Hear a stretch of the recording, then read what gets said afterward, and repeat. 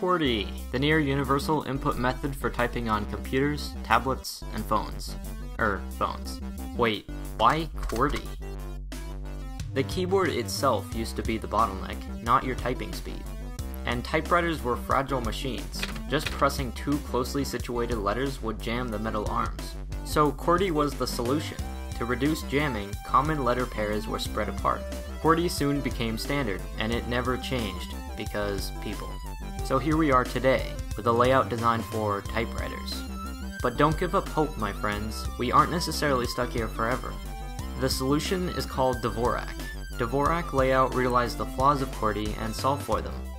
The most common letters are placed on the home row, where your fingers rest, making typing faster and easier.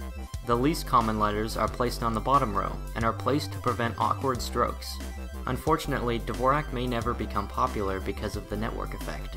Even if you could instantly learn the Dvorak layout, it would have the disadvantage of being uncommon. You'd have to switch to QWERTY when using other computers, and playing WASD controlled games would be a challenge.